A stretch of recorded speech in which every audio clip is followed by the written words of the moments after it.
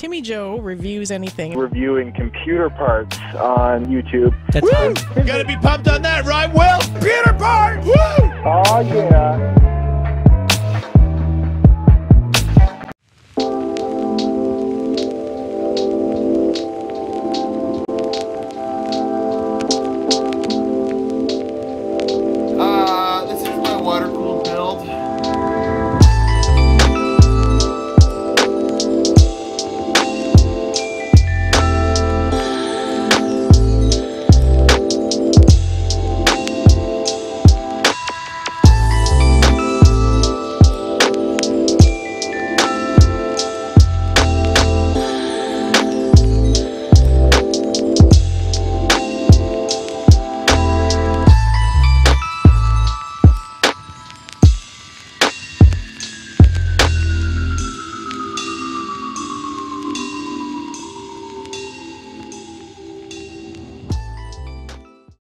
Well, that's right, fellas. It had to be done eventually. Boom! Enermax Neo Changer. Uh, I gotta say, there is a lot of red goop everywhere from the uh, food coloring I used, but we'll, we'll get to that later. But uh, yeah, my name's Timmy Joe. I make videos about computers on the internet. I've been around for a couple days, but that's you know, you, you have kids, they get you sick. What are you gonna do? Huh? You you, you gotta do what you gotta do. Here we are. Uh, I had to break down the old water cooling build because I was just tired of not using it. When you have a PC that is stationary in my line of uh, YouTube channel and my line of work, it kind of sucks because uh, you can't put new parts into it. If there's tubes running with water in the way, uh, you can't kind of exploit, you know, and th this was a 7740X, which is, I know, a weird uh, CPU that I have. Uh, it's a 4-core, 8-thread basically Core i7, you know, Kaby Lake that overclocks to 5.2 gigahertz on, you know, pretty much anything. A really good air cooler AIO. I don't need this water cooling setup, all over, you know, this was pretty cool. Had my 1070 in it too, so now I have that back, which allows me to do some bottleneck testing I was not able to do properly before. We're going to be comparing this, I don't know if you can see behind me, uh, in the last couple videos I have featured a uh, Fury card, which I will be doing some testing on. That's why I wanted this motherboard back, put it on my test bench. But that gives us the ability to, uh, this, this computer's been uh, on more often than not, uh, and uh, it gives us the opportunity to test out just how good this pump performed. Now, I gotta say, I really, really like this pump res combo, okay? It's uh, here before we open it up. I'll just show you quickly. Uh, but you're getting a res and pump combo. There comes in different sizes, anywhere from uh, 250 to 400 uh, millimeters, which I don't know if that exactly translates over to how much fluid it actually holds, but that's how tall it is, I think. And uh, it has a really awesome controller setup and the ability to have RGB controlled through this ring uh, via your motherboard software or just using this, which is really, really, really cool. And uh, Enermax sent this over for me to check out, and I gotta say, it saved the water cooling build a bit because I picked such big uh, rads. Wouldn't have been possible to uh, put the giant res and pump that I had ordered from um, AlphaCool in this build, and uh, I was just able to fit this nice little unit in there. And uh, with the variable uh, RPM settings that are right on, we'll get into this in a second. Uh, I had a lot of fun messing around with this. This is magnetic; it just kind of sticks, you know, to things. There you go, sticks to things. And uh, you know, whenever you need to boost up the pressure and, and maybe alleviate a little bit more heat, you can do that real quick on there. You can also change all the colors and uh, pretty much make it silent uh, for daily-day operations. It's really, really nice. So uh, I really liked this thing uh, for my first run into uh, water cooling. Now, the reason why I wanted to do a uh, not just like an overview, but a you know check this out and test later kind of dealy, is the top of this is aluminum okay? And the rest of my parts are copper.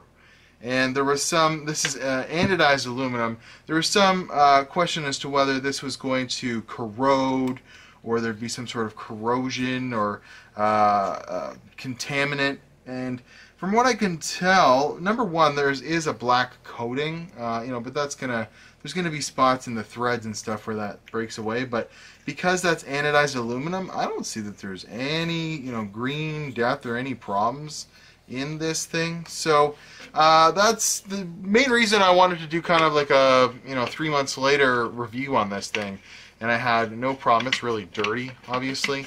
No problems with it whatsoever. It has a readout on it that uh, allows you to see the RPM, uh, and it it was like a stupid freaking when you put it up to 3,500 RPM, it pushed the water through there, and it went all the way up to uh, 4,000 and beyond, and you could change it in 150 uh, increments there. So the remote's really really good. Gives you all kinds of color options for the ring on it.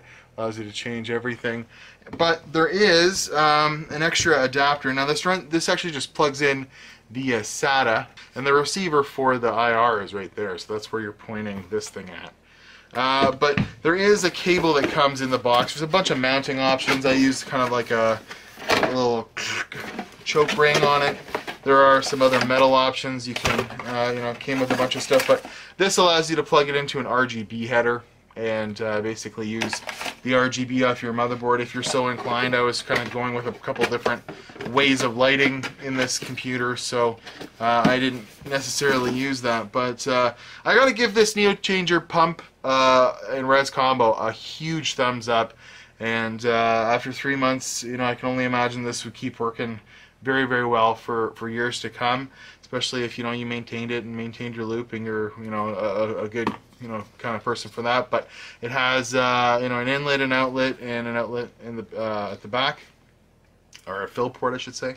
And uh, yeah, all in all, this was awesome. So getting this review out of the way, super thumbs up. I would recommend it wholeheartedly for a compact solution and you know just kind of a regular old uh, water cooling build. Uh, you know, not having a pump and reservoir separately. If you need some tight spaces, this even comes in one smaller of a size. You can fit this pretty much in any case. And I had to drill some holes and kind of make it work, but you make it work. It comes with a couple different mounting options, and I gotta say it's awesome. So that frees up my 1070 for some uh, no bottleneck testing uh, that I'm going to be doing on some AMD chips because I've got a whole bunch of those sent to me. Thank you very much. Had a viewer uh, send over uh, 9590, a 4300, and for no for just for fun another Phenom 2. I have an 8150 and an, a different Phenom. Uh, so I'm going to be having all kinds of fun with Bulldozer in the next couple of uh, weeks.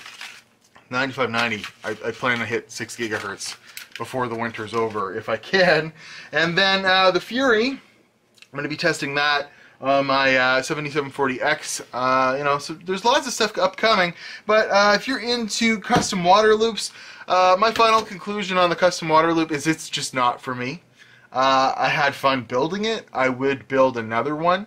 I'd like to find a PC that I'm not worried about you know, kind of taking or, or replacing parts in because I, I, like to switch things out. I'm one of those tinkerers, and uh, to build a system and just leave it alone is really hard for me. And especially when you know I, I have limited access to hardware. I, I am a self-funded channel at this point. Uh, I take what I can get, and when I put one of my best computers locked in a case with some you know water tubes running through it, it was like I, I played PUBG on it. That's all I did, and I was just like, man, is that ever sitting there looking pretty, being wasted. So we took it apart, and I think I'm gonna find another. Uh, I have a whole bunch of water cooling parts, so I'll do that again at some point. But it didn't really seem to be of much interest. There's a, a market for that, and it's already filled by you know guys like whatever. So you know you know who he is people like that. Uh, you're here for the, ma the massive overclocks. This did provide some of that. I'd like to use this giant rad and that pump, you know, for some extreme, you know, overclocking situation at some point. But uh, we're here on this channel and we're, you know, trying to accomplish, you know, cool things with what we have. And now that I've unlocked the power, I'm going to clean this case up. We'll get another build going. I got all kinds of AMD testing, uh, Phenom stuff, FX stuff that I want to get through. And, uh, you know, hopefully uh, we'll, we'll be around for a while. Thanks to all the Patreon subscribers that have uh, hooked up that. What we're going to do is uh, I'm going to work on that in the next month or so. Patreon is going to be a big focus. If you want to become a Patreon, give me two bucks a month, five bucks a month. There's links in the description. You can go to my website, timmyjoe.com, or if you have any cool, uh, older, weird hardware, you know, stuff like this out of viewer, just, you know, send me a, a 5770 because, you know, he saw I had one of these and said you could run, uh, you know, Crossfire. Cool. Stuff like that. Uh, then give me a, a shout. Uh, me at timmyjoe.com. You can always send me some cool uh, older video cards or, or, stuff like that. But for now, this will be the end of the video. The Neo Changer is awesome. Thanks for uh, listening to me ramble. And uh, if you want to build a water cooling PC, just be prepared to be married to it. Uh, otherwise, you're going to have a lot of work on your hands assembling and disassembling it all the time to kind of just deal with you know, upgrades and stuff like that. Not something I'm really into. I like quick switch outs. So see you guys in another video. Thank you very much. Have a good day.